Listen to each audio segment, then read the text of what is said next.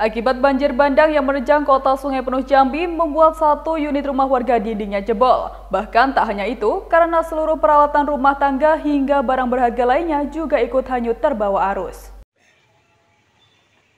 Banjir bandang yang menerjang kota Sungai Penuh Jambi pada Senin malam lalu menyebabkan kerusakan pada rumah warga. Salah satu titik yang terparah di antap banjir berada di Desa Koto Tengah, Kecamatan Pesisir Bukit, Kota Sungai Penuh. Satu unit rumah jebol akibat diterjang banjir bandang, bahkan perabotan rumah tangga seperti perhiasan, dokumen kependudukan, ijazah, pakaian serta ATM hanyut terbawa arus air. Pemilik rumah mengaku saat banjir pertama datang pihaknya sudah mulai membersihkan rumah dari sisa lumpur.